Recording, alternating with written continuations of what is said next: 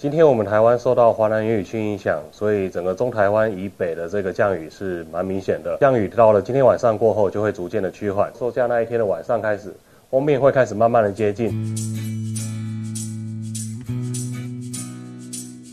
今天我们台湾受到华南云雨区影响，所以整个中台湾以北的这个降雨是蛮明显的。降雨到了今天晚上过后，就会逐渐的趋缓。明天开始，我们台湾附近的水汽会减少，温度也会开始逐渐的回升。然后一直持续到收假的前夕，但到了收假的那一天的晚上，还有到开工的第一天跟第二天，我们台湾又会转为一个比较降雨几率比较高的一个天气形态。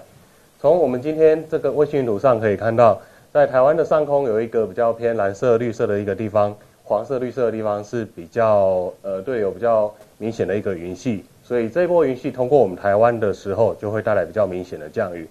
从这个雷达回波图也可以见到。主要比较偏红色、黄色，也就是降雨比较强的地方，是在我们的这个台中、彰化、然云岭还有南投这个区域。所以在这个位置，降雨是比较明显，而且雨势累积的也比较快一点点。那在个北部的地区，也有一些比较偏绿色的区块，这个部分会有一点点降雨，但是雨势上相较起来就不会有那么大。那这一波雨势通过的时间点，大约是在今天的白天。晚上过后，这个地方的雨势就会比较明显的趋缓了。明天开始到后天，水汽减少，所以只剩下这个华东地区还有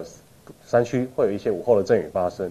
呃一直持维持到四月五号，也就是说收假那一天的晚上开始，封面会开始慢慢的接近。白天我们台湾仍然是属于可能在东半部还有山区会有一些零星的阵雨发生，但是到入夜过后，封面接近，所以整个北部的这个降雨几率就会开始增加。